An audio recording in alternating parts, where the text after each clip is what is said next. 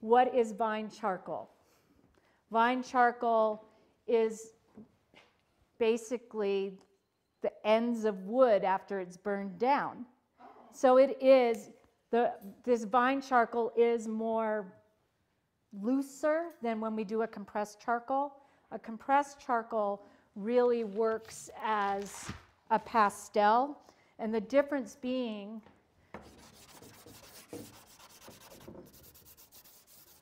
and the vine charcoal is going to be lighter. I mean, you can get in there and do that, but it's it's just got a different feel. And the other thing about the vine charcoal is I find that it's if you're not really liking what you're doing, you can kind of come in and erase. Where this is going to be, there's so much you can communicate with just black and white. So that's why I was like, let's see how far we can go with just our mark making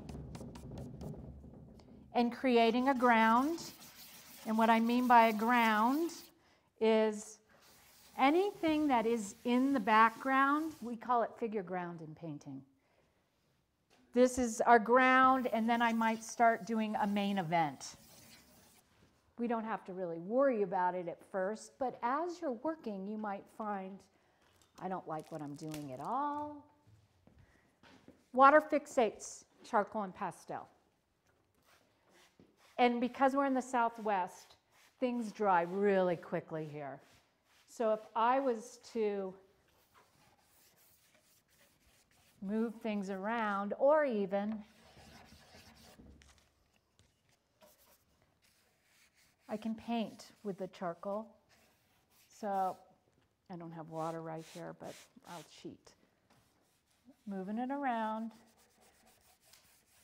What I will introduce once you guys get started is I'm going to put a blob of white paint on your table. So you can work with acrylic white paint and these dry mediums for as long as possible. And so something that can happen when we do that is let's say you're not liking anything that you're doing, you can just make it go away. I'm a big fan of the Huggies. Everyone notices they have Huggies on their table. And I'm also a fan of reductive as much as additive. So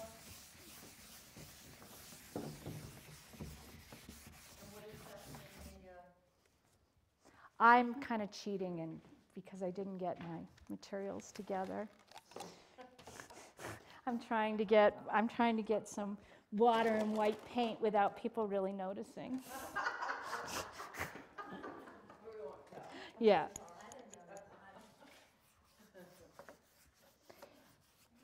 So we can work like this for a while. I also have uh, scrapers. And one of my favorite ones, this is my new favorite one, it's silicone, is it does